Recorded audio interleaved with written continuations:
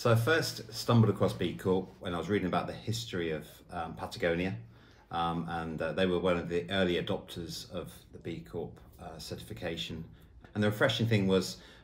that it didn't uh, promote the fact that uh, it was business that had to sacrifice everything uh, in order to be good. It was very much about sustainability, starting with commercial sustainability, in order to then make a difference we do really care about all elements of the business, about the people that work with us, about the people who, who supply us, about the people we supply, and about the environment that we that we work in. So, as well as it being something that we really believe in, it, it's a great opportunity to demonstrate to the team. Whilst they weren't aware of B Corp at all before we started the journey, they are now, and they know that these are intentions that we intend to stand by um, and and and build upon as we as we grow as a business.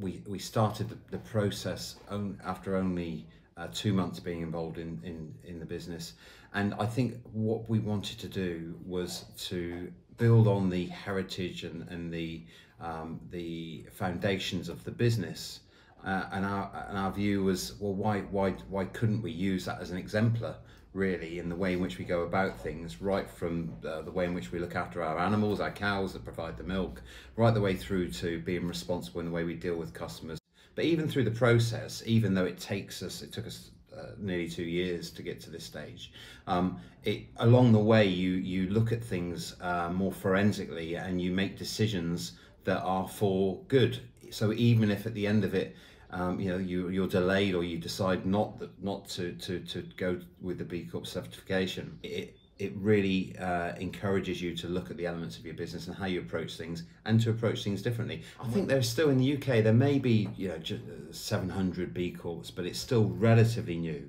um, and I think it's it's a it's a certification uniquely really that suits small and medium sized enterprises like ourselves um, because we can be nimble. We can do the things that you need to do to align with these standards. We can address some of the more challenging elements whereas when you've got huge workforces and and lots of shareholders are more difficult to do. I, I, want us to be an example as to what can happen. You know it's it's it's amazing and fantastic to be um, the first dairy cheese company in the UK to be a B Corp to, to be certified as a B Corp. We're really proud of that. But we hope that it, it really opens the floodgates for others to get involved because because genuinely um, it's really difficult as individuals to have a, a significant impact on um, you know, how the world shapes. But in business, in our everyday lives, B Corp gives us the opportunity to really positively influence what the future might look like.